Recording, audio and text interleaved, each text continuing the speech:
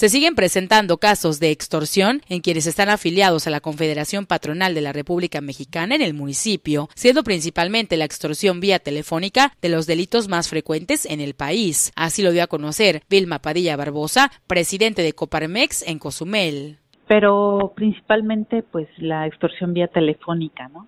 Eh, pues eso sí lo padecemos los empresarios y empresarios de la isla, y pues obviamente del Estado, ¿no? O sea, todo es comentario general de los demás centros empresariales de Coparmex en el Estado, entonces, eh, pues estamos muy cercanos en relación a como la estrategia que debemos de hacer ante este ante este delito, ¿no?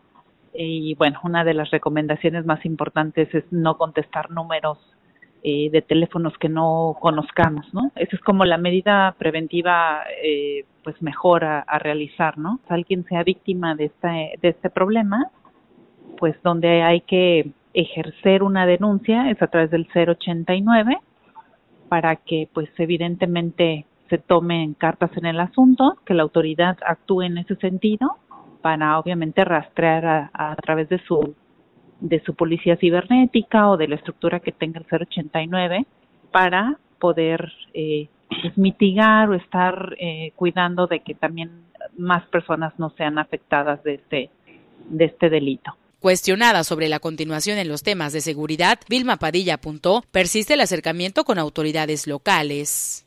Pues en la medida de lo posible, pues nosotros estamos tratando de, de generar pues estrategias conjuntas pues para poder eh, salir adelante como isla, como estado, como país, porque pues son situaciones que, que vemos en nuestro país pues causados por la impunidad, la corrupción y demás, entonces pues también desde el empresariado poder incidir de alguna manera positiva para que pues esto pues no esté generándose en nuestro país. Conversaciones y demás con diferentes eh, autoridades, ¿no? es un tema, un binomio inseparable la seguridad y la justicia. Entonces, pues en la medida de lo posible, pues estamos en contacto con estas autoridades.